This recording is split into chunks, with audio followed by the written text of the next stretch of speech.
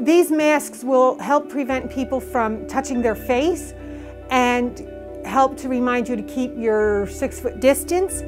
These masks are being used over top of N95 masks to prolong the life of an N95 mask. I make some for children also. Here's a John Deere tractor for a little boy.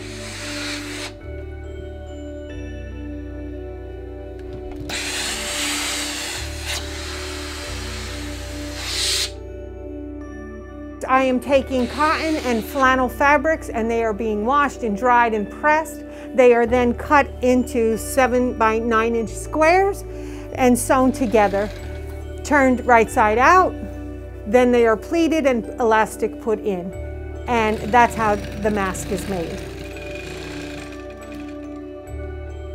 So many people have donated supplies, elastic, fabrics, threads, have donated monies to purchase more supplies and have donated their time. People are cutting fabric for me. People are cutting elastic for me. People are washing fabric for me. So this is a joint effort and for me this is humans helping humans.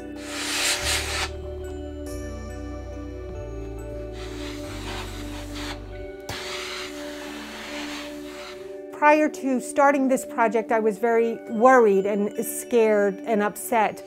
And this project has made me use the energy in a positive way. So I am able to focus on doing something helpful for other people.